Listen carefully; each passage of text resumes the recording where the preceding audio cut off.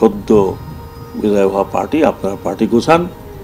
আমরা আমরা আমরা হোম মিনিস্ট্রি থেকে আপনাদেরকে হেল্প করব। আপনার পার্টি গোছান উইথ নিউ ফেস আজকে আমরা অনেক উপদেষ্টা থেকে দেখেছি, খুনিদেরকে পুনর্বাসন করার বক্তব্য দিতে। অন্তর্বর্তীকালীন সরকারের স্বরাষ্ট্র উপদেষ্টার পদ থেকে ব্রিগেডিয়ার জেনারেল এম শাখাওয়াত হোসেনকে সরিয়ে লেফটেন্যান্ট জেনারেল জাহাঙ্গীর আলম চৌধুরীকে স্বরাষ্ট্র উপদেষ্টার দায়িত্ব দেওয়া হয়েছে। সংবিধানের রক্ষণ সংবিধানের রক্ষণ সমর্থন সমর্থন ও নিরাপত্তা বিধান। গত আট আগস্ট অন্তর্বর্তী সরকারের প্রধান উপদেষ্টা এবং আরও তেরো উপদেষ্টার সঙ্গে শপথ নেন brigadier general M Sakhawat Hossain. বারো আগস্ট তিনি সচিবালয়ে গণমাধ্যম কর্মীদের সঙ্গে আলাপকালে আওয়ামী লীগকে নতুন মুখ নিয়ে দল গোছানোর পরামর্শ দেন।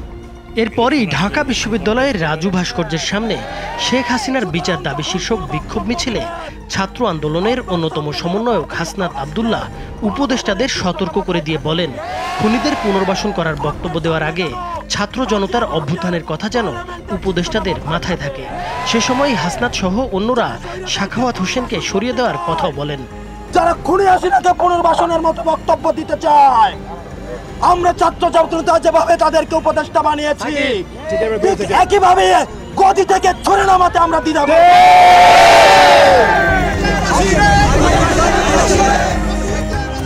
এর মাত্র তিন দিন পর গতকাল শনিবার ব্রিগেডিয়ার জেনারেল এম শাখাওয়াত হোসেনকে স্বরাষ্ট্র উপদেষ্টার পদ থেকে সরিয়ে বস্ত্র ও পাট মন্ত্রণালয়ের দায়িত্ব দেওয়া হলো।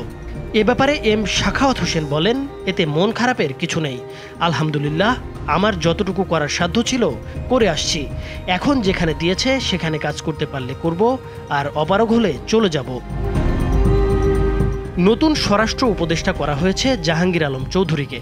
সাবেক সেনা কর্মকর্তা লেফটেন্যান্ট জেনারেল জাহাঙ্গীর আলম চৌধুরী দু হাজার তিন সাল থেকে দু হাজার ছয় সাল পর্যন্ত তৎকালীন বিডিআরের মহাপরিচালক ছিলেন। এরপর তিনি বাংলাদেশ সেনাবাহিনীর প্রিন্সিপাল স্টাফ অফিসার হিসেবে নিয়োগ পান।